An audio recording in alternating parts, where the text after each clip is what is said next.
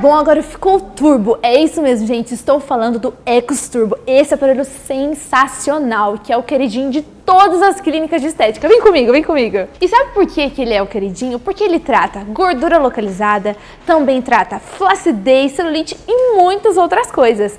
É um aparelho sensacional, ele tem multifunções. E sabe onde você encontra a menor condição de pagamento para este equipamento? É na Shop Físio. E onde você encontra a Shop Físio? Em Mogi Guaçu, em Fortaleza, em São Paulo e também na sua casa pelo nosso site. O nosso site está aqui embaixo, ó. é só você acessar agora ou também, se você quiser, ligue nos nossos telefones. Estou esperando você comprar esse aparelho, hein?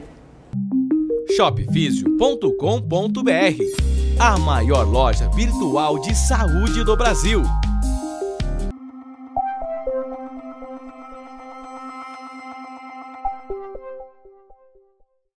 Começa agora mais um programa Estética na TV, que já não é mais um programa, é um canal com vários programas. Nós temos aí disponível para você assistir o programa Além da Estética com o professor Edjasto Ferreira, toda segunda-feira às 17 horas, falando sobre estética bioortomolecular. É um programa que faz grande sucesso e para você que quer empreender, quer ter a carreira turbinada, quer ser um top no mercado de estética, você tem que acompanhar as dicas aí da Daniela Martella no programa Viver de Estética. O nome já diz tudo. Viver de Estética toda sexta-feira às 10 horas da manhã. Mas, ah, Cristiano, esse horário é ruim, 10 horas da manhã, sexta-feira, não tem problema. Tá tudo gravado. Acesse, ó, bit.ly barra assistir viver de estética. bit.ly barra assistir viver de estética. E você tem a playlist com vários programas, vários. Fala, e, e o Edjasto? Edjasto também tem a sua playlist. bit.ly, bit.ly barra é, assistir além da estética. Só muda o nome do programa. Você vai acompanhar muito conteúdo de qualidade. Lembra? Tem programa novo chegando na grade do canal Estética na TV. E hoje nós temos um tema muito bacana, muito legal, um tema é, que está aí em, em pauta no, no, momento, já teve em pauta também em outros momentos, que é a remoção de tatuagem a laser. E convidamos dois grandes profissionais. Uma que é pioneira aqui no Brasil, que trouxe aí um dos primeiros lasers, que é a Michelle Melnick, ok? É, Michelle, muito bem-vinda ao programa Estética na TV e aproveito para dar boas-vindas também ao grande profissional Ricardo. Boas-vindas para vocês, obrigado por participar do programa Estética na TV. Olá, Cristiano, uma honra estar participando do seu programa que tem uma repercussão no mundo todo. Estou muito feliz de poder compartilhar todas as minhas experiências com os nossos telespectadores. Oi, Cristiano. É, obrigado pelo convite de participar do Estética na TV. Então, hoje nós vamos falar sobre como é que funciona essa remoção de tatuagem com laser. Conta pra gente aí, como que foi a sua história com a remoção de tatuagem? Bom, é, em 2000, quando eu iniciei a minha carreira no trabalho é, de estética aqui no Brasil, é, nós fizemos a aquisição de um equipamento de laser na clínica que eu fui uma das fundadoras, a extinta Clínica Vanity. E naquela época, este laser, ele além de fazer depilação, ele também fazia tratamentos para mancha, rejuvenescimento e ele tinha uma característica diferente, que era a capacidade de fazer remoção de tatuagem. Então imagina, a pessoa que fez uma tatuagem e se arrependeu não tinha como remover antigamente. Então a pessoa tinha que conviver com aquilo ou eventualmente fazer uma outra por cima. Cobertura nunca fica muito bonito, né? Nunca fica legal. Então as pessoas partiam para outras técnicas que até então eram cirúrgicas. Então ficava aquele monte de recortes e, e cicatrizes. Quando o laser chegou no Brasil, foi uma revolução. E eu tive na época uma, uma pessoa muito importante que nos procurou, que ela é muito famosa, é, na época ela tinha feito uma tatuagem do então marido e o casamento acabou. E aí, infelizmente, ela não queria mais conviver com aquela tatuagem, né? E aí o empresário dela era um, um dos nossos clientes da, na clínica naquele, naquele momento. E quando ele descobriu que nós tínhamos uma máquina de laser que fazia remoção de tatuagem, falou: vocês são a solução para o problema da minha cliente. E na época nós tivemos a honra de atender a cantora Kelly Key, né? Então ela se submeteu a uma, uma sequência de sessões, né?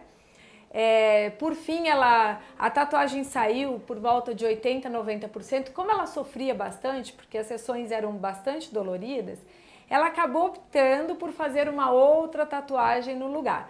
Mas a tatuagem saiu quase que por completo. É engraçado como tem pessoas que têm a visão, né? E criam mercados. Parabéns, Michele. A pergunta agora é para o Ricardo. Ricardo, como que é o processo de remoção de tatuagem a laser? Conta um pouquinho pra gente. Vamos com começar é, explicando o que, que, é que acontece quando a gente faz uma tatuagem né, para o nosso organismo. Então, quando a gente faz uma tatuagem, para o organismo da pessoa, está havendo uma invasão de corpo estranho. Né? Esse corpo estranho, ele não é removido do, do organismo da pessoa por dois motivos. Primeiro, porque as células de pigmento são células muito grandes, tanto é que são visíveis, não é que nenhuma bactéria ou um vírus que a gente não enxerga. É, são células enorme, enormes e que o nosso sistema imunológico ia gastar muita energia é, para poder remover, né? Tipo, vamos remover com expulsando isso do organismo como se fosse uma infecção, uma inflamação por pus né? Como, além de ser muito grande, esses pigmentos também são biocompatíveis, eles não são patógenos, o corpo acha uma outra via de saída mais fácil, que é o encapsulamento desse corpo estranho. Então, o que, que acontece? Encapsula-se o, o, corpo estranho, que é o pigmento de tatuagem, e fica lá para o resto da vida. Né? Quando a gente aplica o laser, e vamos ver uma tatuagem como se fosse um monte de moedas empilhadas. Cada moeda é como se fosse uma célula de pigmento, tá? É, você aplicando o laser, que é uma luz em cima do pigmento, se esse pigmento absorvesse a luz do laser, ele rompe. Isso daqui, essa moeda vai virar pó. Então vai ficar uma coisa muito menor e também vai perder o encapsulamento mas não sai do local. Tá? Por quê? Porque nenhum laser remove tatuagem. O laser ele tem o poder de quebrar o pigmento de, de tatuagem, mas ele não remove. Quem faz a remoção são os mesmos, é, as mesmas células que encapsularam esse pigmento, que são os macrófagos do nosso sistema imunológico.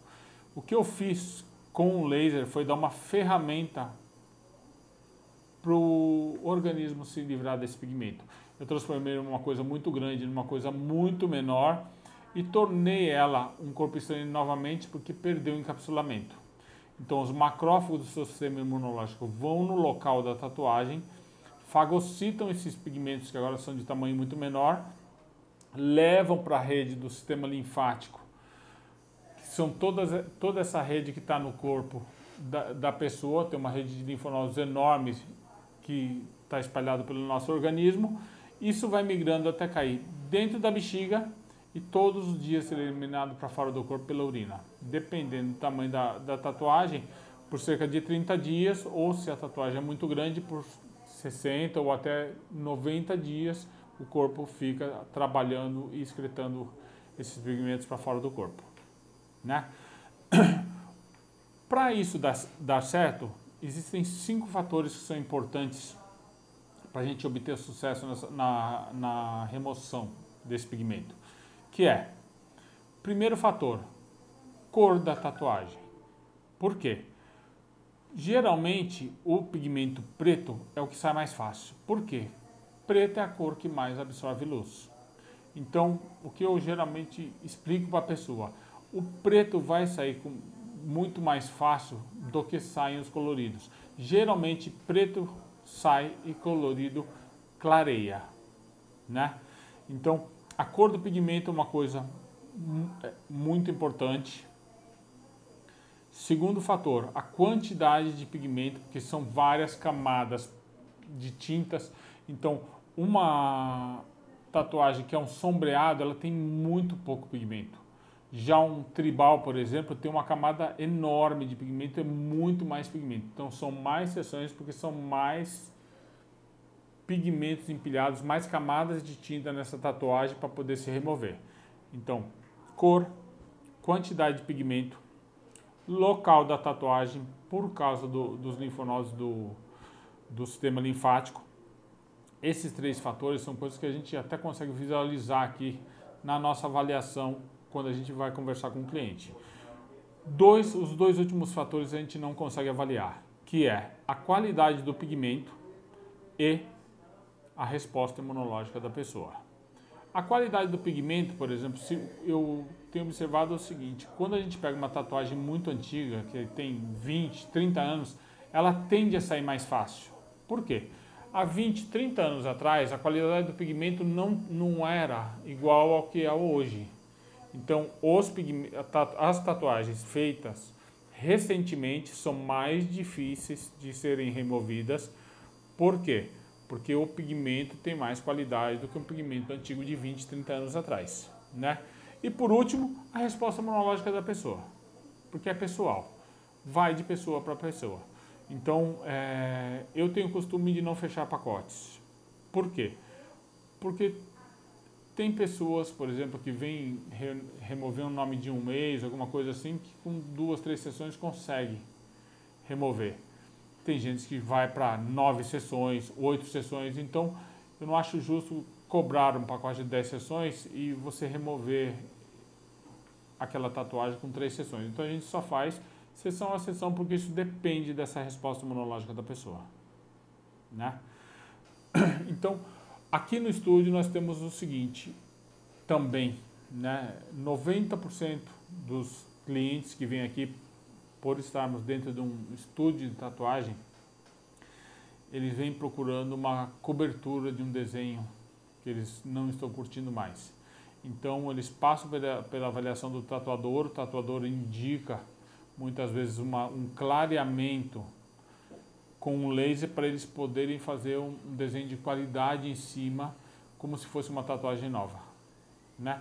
A diferença que existe entre clareamento de tatuagem e remoção de tatuagem é número de sessões. Clareamento você depende da avaliação do tatuador, você faz uma, uma sessão, mostra para ele, se ele achar que ele tem que clarear mais, ele vai pedir para tirar outra camada de tinta, a gente vai, quebra, o seu corpo leva embora, e assim vai até ele achar que ele consegue fazer aquele desenho que o cliente quer com qualidade, como se fosse de zero quilômetro. Remoção não pararia aqui. Às vezes a gente consegue cobrir uma tatuagem com uma, duas, três, quatro, cinco sessões. Claro, a remoção você continuaria esse processo até não ter mais pigmento no local.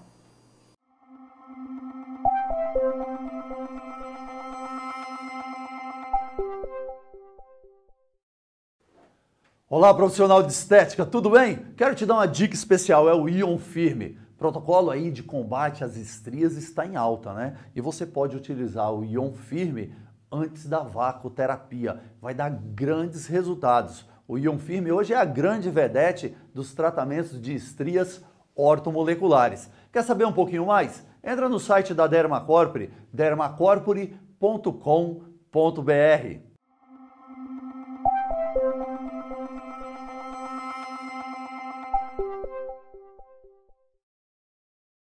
Continuamos agora com o programa Estética na TV. Vamos lá para mais uma pergunta. Michele, quantas sessões são necessárias para remover uma tatuagem? Bom, é, com relação ao número de sessões, isso tem uma, uma, uma variação muito grande. É, é, nítido que assim, as tatuagens de cor preta, né, de cor negra, elas saem com um pouco mais de facilidade e depende, tudo vai depender muito da profundidade em que se encontra a tinta, da região do corpo, que existem é, partes do corpo que, como a pele se submete mais às radiações, ela, ela acaba ficando um pouco mais espessa. Então isso interfere né, é, no fato da gente conseguir atingir a, a, profundidade desse tecido e efetivamente provocar a fragmentação dos pigmentos. Então assim, as tatuagens de cor preta, de cores mais escuras, eu já tive casos na época da gente conseguir eliminar em 5 sessões, 6 sessões, 10 sessões. As tatuagens coloridas requerem um número maior de sessões, né? É, alguns casos a gente consegue eliminar 100% sim, mas não são todos. porque como eu havia dito, é, às vezes a profundidade em que o pigmento se encontra, a gente não consegue acessar com a luz do laser. Uma outra, uma outra questão importante é com relação à cor do pigmento, né? Uh, os pigmentos coloridos são bem mais difíceis, né? De, de serem lidos e reconhecidos pela luz do laser.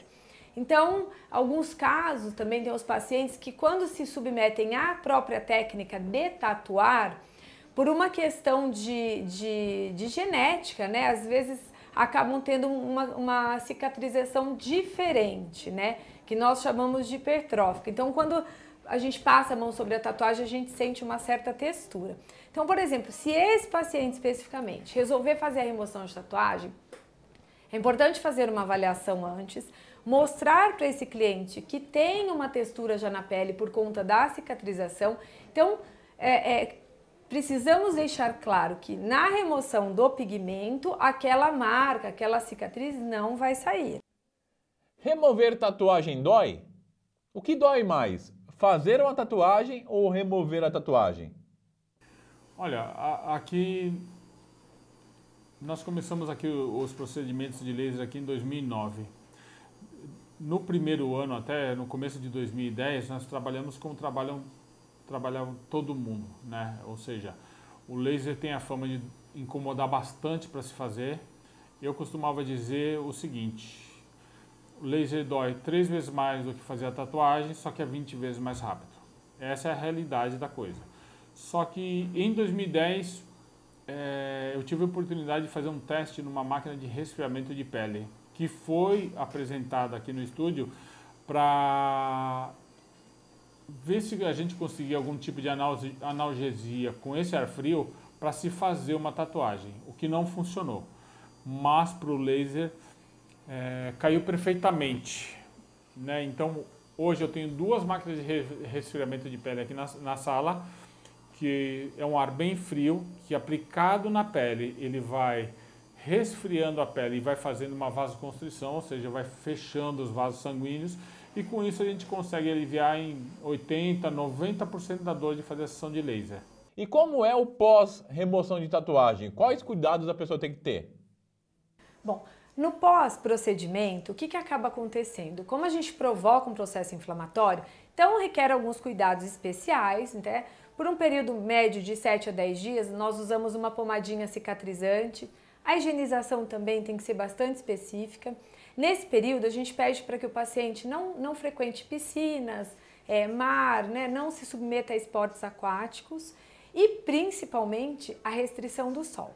Né? Então, é, mesmo esse sol passivo que a gente acaba recebendo ao caminhar pelas ruas, é importante que a, a área em que está sendo tratada ela esteja sempre com um protetor solar, né?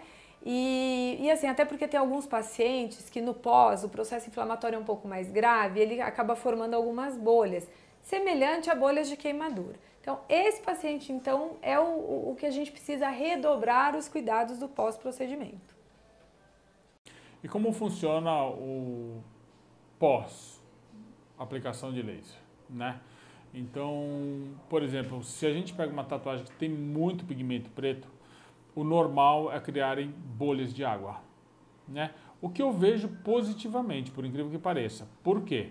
Eu já reparei que se eu olhar uma tatuagem 30, 40 dias depois da, da primeira sessão e eu reparar naquele desenho, eu sei exatamente aonde deu bolha de água. Por quê? Todo aquele local em formato de bolha está mais claro. O organismo, ao invés de absorver, mandar para o sistema linfático e eliminar isso pela urina, ele pegou muita coisa desse pigmento e liberou na água da bolha. Então, quando essa bolha é drenada, ou, seja, ou mesmo quando ela estoura, alguma coisa assim, o pigmento sai pela água da bolha. Então, eu vejo a bolha de água, apesar de feia, como uma coisa positiva na, na inscrição desse, desse pigmento, né? O local geralmente ele fica com uma sensaçãozinha de queimado, de ralado, como é quase parecido um pouco mais do que quando se faz a tatuagem, mas é uma coisa passageira, depende até do tamanho da, da tatuagem, né? Se for uma tatuagem pequena, meia hora depois está normal. Normalmente, eu aconselho a pessoa a passar uma pomada cicatrizante, pelo menos no, na primeira semana, né? Hoje nós, nós tivemos aqui uma, uma demonstração do, do pessoal da, da Rocha e nós estamos indicando a Cicaplast, por exemplo, né, que tem um, um, um ótimo poder de cicatrização tanto para quando se faz uma tatuagem quanto para o laser também. Então, após o procedimento, você vai usar essa pomada cicatrizante na primeira semana e depois você esquece. Tem alguns locais e, tá, e dependendo também do tamanho da tatuagem que eu indico para a pessoa fazer drenagem linfática. Por quê? A drenagem linfática é como se fosse um rodinho de limpeza que vai se passar no, no local. Vai tirar todo o excesso de, de líquido, é, toxinas do organismo e, consequentemente, todo micropigmento que já estiver perto da rede do sistema linfático vai ser levado manualmente embora para dentro da bexiga pela pessoa que está fazendo a, a drenagem linfática nesse cliente. Então, dependendo do caso, é aconselhável sempre fazer uma drenagem linfática até para acelerar o processo de remoção, né? Então, após isso, responda ao único estímulo que o corpo consegue produzir para você movimentar um pedaço de pele né? Porque o nosso sistema linfático, como ele não tem uma bomba circulatória, ele depende muito de movimentação. Então, o que eu falo para meus clientes é entender que seja muitas coisas aqui são exatamente o contrário de quando você faz uma tatuagem. Por exemplo, quando você faz uma tatuagem, o tatuador fala para você não coçar o local. Porque quando você coça o local que você fez a tatuagem, muitas vezes você quebra esse pigmento e a tatuagem falha, não é? O nosso objetivo com o laser é exatamente o contrário, é falhar essa tatuagem. Então, o que eu falo é para não coçar com a unha para machucar, mas quanto mais você movimentar essa pele, quanto mais você coçar esse local, mais pigmento está jogando dentro do sistema linfático e mais clara vai estar a sua tatuagem. Então, nesse caso, como o nosso objetivo é falhar a tatuagem, eu aconselho a pessoa a responder esse estímulo do, do organismo.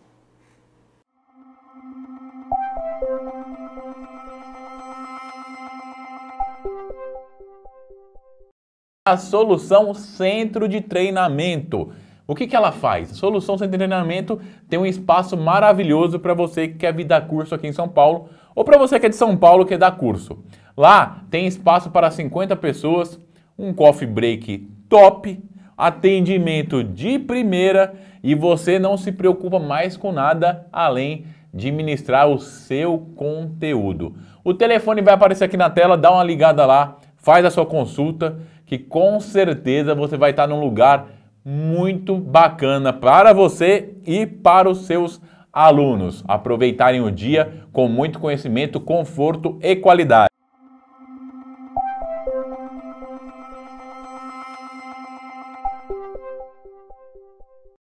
Michele, agora conta pra gente, quais os profissionais que são habilitados para fazer a remoção de tatuagem? Bom, os profissionais habilitados a, a fazerem essa prática né, da remoção de tatuagem, eles são as, as esteticistas, né, graduadas ou tecnólogas, mas todas têm que ter uma, uma, uma complementação de curso. Né? Existem hoje várias instituições que habilitam as esteticistas a, a poderem manusear esse tipo de laser médicos dermatologistas, fisioterapeutas, biomédicos, enfermeiros, todos esses profissionais, desde que habilitados com cursos que instruem e ensinam a utilizar as tecnologias, podem fazer a, a prática de, de, de remoção de tatuagem a laser. Michelle, a gente sabe que há profissionais e profissionais, tanto na estética como na tatuagem e até na remoção de tatuagem. Na hora da pessoa escolher quem vai remover a sua tatuagem, quais cuidados que ela tem que tomar? Bom, quando você for escolher um profissional para fazer a remoção da sua tatuagem, não tenha vergonha de perguntar qual é o laser que ele usa e principalmente, você tem especialização nessa área para poder me atender? Pergunte, gente. Minimizar o risco é sempre mais importante. Hoje, dentro aqui do meu consultório, eu não faço mais a remoção de tatuagem, mas eu tenho um grande amigo de muitos anos que é muito famoso, que é o tatuador LEDs. Ele é conhecido não só no Brasil, né, por tatuar vários artistas, várias celebridades, como também ele é conhecido no mundo todo. Como a gente está muito perto, né, o meu consultório é muito perto do estúdio dele, então quando eu preciso indicar alguém, ou até mesmo quando eu preciso atender alguém para fazer o procedimento de remoção de tatuagem, eu indico para o, o, o LEDs, né, que ele tem uma equipe lá ultra especializada, o atendimento dele é excelente, é, ele tem uma sala específica para isso. E eventualmente eu acabo atendendo lá alguns pacientes que fazem questão de ser atendidos por mim. Mas eu sempre indico o estúdio da, do, do, do LEDs, né? Além dele fazer a tatuagem, ele também tira. Ô Ricardo, por que, que as pessoas removem tatuagem? Quais são os motivos mais frequentes para fazer uma remoção aí pelo que você conhece do seu público? Olha, o que o pessoal me procura muito hoje é, é, relacionamentos que não deram certo, né? aquelas marcas de passado. Né? E às vezes, muitas vezes a pessoa vem se culpando porque é que fez aquele nome de ex. O que eu não, não, vejo, não acho que deva ser uma coisa de grande culpa. Era um relacionamento na qual a pessoa colocava tanta fé que ela tecnicamente, teoricamente, ela fez uma coisa que era para sempre, né? Então, por sorte, a maioria desses, dessas homenagens que fizeram para ex-companheiros, alguma coisa assim, é feita com pigmento preto, então a gente consegue remover com mais facilidade. Isso é uma grande parte da tatuagem, da remoção de tatuagem. Já a parte da cobertura de tatuagem são tatuagens ou antigas que perderam a qualidade ou muita gente hoje está procurando tatuagens porque não ficou do jeito que ela queria, né? A pessoa hoje tem muitos tatuadores trabalhando hoje no mercado, a, a coisa ficou uma coisa muito grande e muita gente não tem a mínima condição de, de fazer uma tatuagem. E eu sei porque aqui nessa sala aqui da LED Tattoo é onde vem todos os problemas de tatuagem. Toda tatuagem que não deu certo, ou que causou algum tipo de arrependimento, vem, a pessoa vem falar comigo. Por quê? Porque é aonde a gente pode resolver isso. Né? A gente pode ou tentar remover essa tatuagem, ou clarear ela, ou reformar a mesma tatuagem, mas com qualidade. Né? Seja essa reforma, essa cobertura seja feita por um tatuador aqui do estúdio, ou seja feita por um outro tatuador de, de fora do nosso estúdio, porque eu tenho uma, um monte de parceria com outros tatuadores que mandam os clientes para clareamento aqui e eles avaliam para fazer a, a cobertura no estúdio deles. E os equipamentos, eles são muito caros? Essas tecnologias, elas costumam custar um pouco caras. Então, assim, é um investimento muito alto. Existem empresas que fazem locação e que também habilitam pessoas né, para poder manusear essas tecnologias. É, com relação ao, ao, preço das sessões em si, normalmente custa a partir de 400 reais. Depende muito do tamanho da tatuagem, porque isso vai definir o tempo né, da duração da sessão e também o número de sessões necessárias.